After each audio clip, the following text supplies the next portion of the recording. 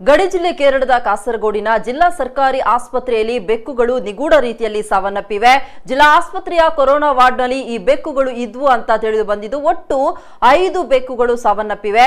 Corona virus ಸೋಂಕಿನಿಂದ ಸಾವನ್ನಪ್ಪಿರುವ ಶಂಕೆ ವ್ಯಕ್ತವಾಗಿದ್ದು, ಸಮಗ್ರ ಪರೀಕ್ಷೆಗಾಗಿ ದೇಹ ಭಾಗಗಳನ್ನ ತಿರುವನಂತಪುರದ ಪ್ರಾಣಿ ರೋಗ ಪತ್ತೆ ಕೇಂದ್ರಕ್ಕೆ ಅಧಿಕಾರಿಗಳು ರವಾನೆ ಮಾಡಿದ್ದಾರೆ.